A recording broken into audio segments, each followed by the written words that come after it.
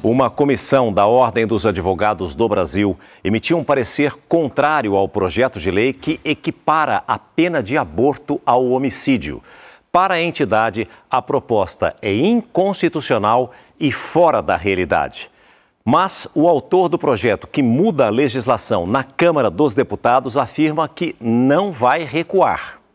Uma comissão de mulheres da OAB concluiu que o projeto de lei fere tratados e convenções internacionais assinados pelo Brasil, além de direitos fundamentais garantidos pela Constituição de 88. O parecer destaca que o texto é grosseiro e desconexo da realidade e demonstra o mais completo distanciamento dos problemas sociais do Brasil. Caso o projeto avance, a Ordem dos Advogados irá ao Supremo Tribunal Federal questionar a lei. A proposta de aumentar a pena do crime de estupro não suplanta toda a, o absurdo, todo o, o, o, retrocesso atroz que esse projeto de lei é, propõe. Um abaixo assinado que perde o arquivamento do texto já conta com mais de 150 mil assinaturas e será utilizado para pressionar líderes e o presidente da Câmara, Arthur Lira, a não pautar a votação. E, paralelamente a isso, nós protocolamos um pedido de arquivamento do projeto oficial, porque ele é inconstitucional, porque fere direitos fundamentais de mulheres e crianças brasileiras. Uma votação popular aberta no site da Câmara dos Deputados também revela rejeição ao tema.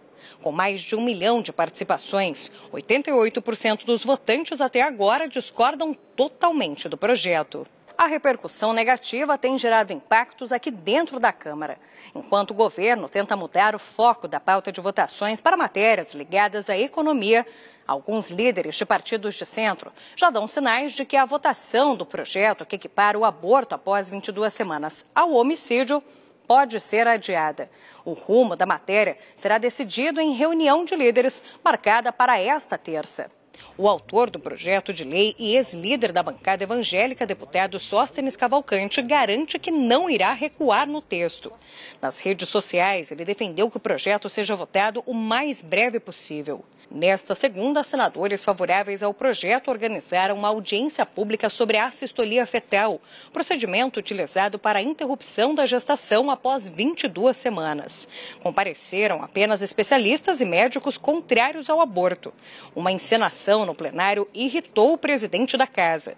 Rodrigo Pacheco ficou incomodado com o desequilíbrio da discussão e a ausência de pessoas contrárias ao projeto de lei a sua fonte segura de informação cada vez mais perto de você.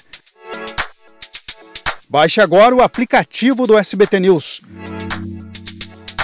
Selecione o que é mais importante e receba notícias personalizadas. Tudo o que acontece no Brasil e no mundo 24 horas por dia. A informação em tempo real na palma da sua mão.